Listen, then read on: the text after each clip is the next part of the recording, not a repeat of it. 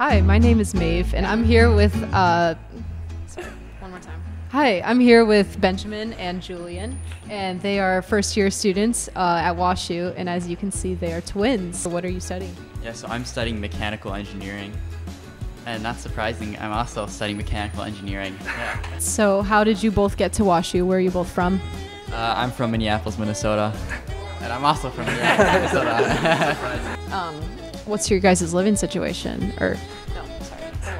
Um, I'm, I'm getting worse as, at this. What are some annoying questions you both get as twins? yeah, one annoying question I get is usually they ask me, uh, how is it like being a twin? And I like to ask them, how is it like being, you know, alone?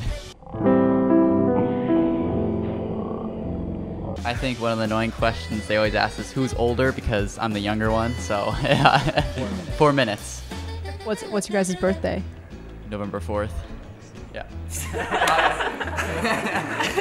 to stop doing that. What played in your decision to come to school together?